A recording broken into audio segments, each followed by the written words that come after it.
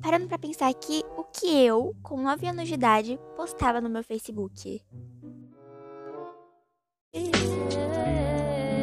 My strawberry kisses. I could fly through the wind. Tá bom, pera, pera, pera. Antes, faz mil anos que eu não uso Facebook, entendeu? Eu até tentei voltar a usar, só que não tem como. Facebook está ultrapassado, assim, na minha opinião. Não estou ofendendo quem usa Facebook, ok? Mas eu não consigo mais usar Facebook. A única hora que eu lembro que eu tenho Facebook é quando tem que logar em algum lugar. É muito mais fácil. Logar com Facebook, sim, com certeza, entendeu? Uma das últimas coisas que eu postei foi: Eu gosto do conceito do jovem brasileiro de pesquisar como escreve tal palavra, mesmo sabendo a forma correta, porém inseguro demais para acreditar no seu próprio conhecimento gramatical. Sim, as provas de português que lutem. Vocês também ligam a televisão e ficam mexendo no celular só pra não se sentirem sozinha? Ou é só eu? Realmente isso acontece muito. Eu não consigo assistir TV sem mexer no celular. Quando a pessoa mastiga e faz barulho do meu lado. Mas vai levar um soco, tá comendo bosta? Eu em 2017 com meu humor refinado. Duvido achar o erro. Mas se achar, não fale, apenas compartilhe. O bebedouro tá virado de cabeça pra cima e estraguei todo o humor da piada sem graça. Chegamos nos desenhos, não digitais que são os primeiros, mas enfim, daqui ó. 2017, um desenho com a minha BFF Maravilhoso esse desenho, não é mesmo? Começa o vídeo, o vizinho começa com furadeira, só falta cair o mundo também. Obrigada, viu? Julho de 2017, meu primeiro desenho Tumblr. Gente, que desenho maravilhoso, não é mesmo? Eu já recriei ele no meu canal, então vai lá ver. Beijos. Eu era poeta também, ninguém tem um lápis para escrever futuro, mas se você caminhar, o futuro vai se revelar, não me diga. Não me diga. Esse vídeo é um ícone, tinha que virar um meme esse vídeo, gente. Eu tô indo lá na bebedoura de boa, né, tomar uma aguinha.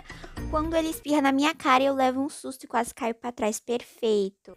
Aqui começa o negócio interessante da história. 25 de outubro de 2016 eu postei um desenho no Paint, que eu adorava Paint. Tá lindo esse desenho, né, gente? O legal é que depois de três desenhos que eu posto no perfil, ninguém mais curte, ninguém gosta mais da minha arte, entendeu? Só como eu sou uma pessoa de bem, vou dar uma força pra essa artista. Linda! Arrasou! Vai longe, gente. Tem que botar fé nas pessoas, que eu tenho certeza que ela vai longe. 2016 eu era ilustrador, desenhei uma professora louca descabelada, uma menina popularzinha e lá no fundo uma menina meio aleatória tacando papel. Adoro Paint. É mesmo, Gabi, de 9 anos de idade. O ano era 2016, eu já era super fã da Júlia. E eu tinha desenhado ela e a Cris. E aí eu postei porque eu achei o desenho muito cut. Foi um dos meus primeiros desenhos, então não tá tão mal e também não tá tão ruim, tá? Desenha da Julia Mandy Girl.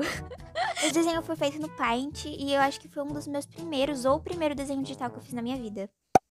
Primeiro desenho que eu postei foi no dia 16 de setembro de 2016, que foi o desenho da Júlia. Depois eu postei esse desenho de uma menina com sei lá o que que era isso. Mas já vi uma mini evolução. Até porque vocês sabem que o Paint é muito difícil de desenhar lá. Depois eu fiz o desenho da professora louca e por fim eu fiz essa menina aí com cabelo ruivo de cachorrinho.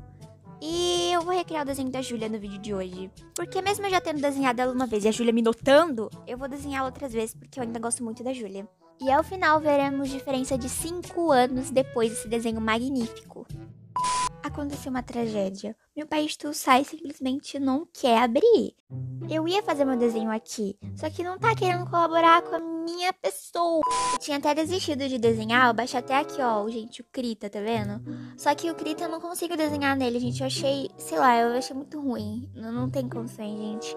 Aí eu falei, tá, vou fazer o desenho no papel. Então, enquanto eu estava estudando, eu fui desenhando aqui, saiu as duas aqui, que eu vou digitalizar agora, aproveitando que pessoas, gente, ser humanos, pediram pra mim fazer mais vídeo digitalizando desenho. Não vou lembrar exatamente quem pediu, mas as pessoas pediram. Mas chega de enrolação e vamos digitalizar esses desenhos aqui. E... Ok, então começando, eu contornei tudo com a caneta Falcão. Não sei porque que eu fico trocando de caneta de contorno toda hora. Sei lá, gente, que eu tento ficar mudando o jeito que eu finalizo meus desenhos, porque talvez isso que me incomode, sabe? Não é nem um desenho em si. É o jeito que eu pinto, o jeito que eu contorno.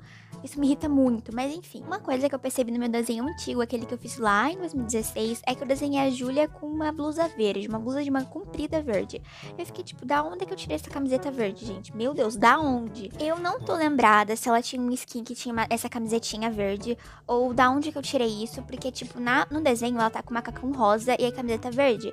Então eu não sei de onde que eu tirei isso, só se eu fosse daltônica na época, porque, né? Porque, assim, as únicas skins que eu lembro dela de cabeça é a skin atual, que ela tá com o macacãozinho e a blusinha rosa, tanto no Roblox quanto no Minecraft. E a primeira skin dela, que ela tá com aquela camisetinha branca. Eu acho que vocês sabem do que eu tô falando. Então, tipo, eu não sei de onde que eu tirei essa blusa verde. Eu não sei se na época ela tinha alguma série que ela usava aquela roupa. Não faço ideia do porquê que coloquei a camiseta verde, mas eu coloquei. Então, voltando aqui pro desenho, bom, a pose, eu fiz ela totalmente inspirada na pose que que eu tinha feito no desenho antigo, que era a Júlia assinando e a Cris com as mãozinhas pra trás, né? Eu, mesmo que eu fazia a mão de. Como é que chama? A mão das meninas superpoderosas, que nem tinha dedo. Eu não gostava de fazer mão, gente. nunca gostei de fazer mão. É um negócio chato, assim. Mas enfim. Ultimamente eu tô tentando experimentar coisas que eu tenho dificuldade em fazer. Por exemplo, eu tenho muita dificuldade em fazer mão, sabe? Tipo, meu Deus, a pior parte do desenho para mim é a mão. Quebra comigo. Então eu tô tentando sempre nos meus desenhos aparecer a mão de alguma forma para poder treinar isso. Mesmo que fique feio no começo, uma hora eu vou pegar prática que nem eu fiz no desenho inteiro. Pose também é outra coisa que eu tô tentando mudar, fazer umas coisas diferentes. Cenário também, mas essa é a parte que eu vou treinar depois.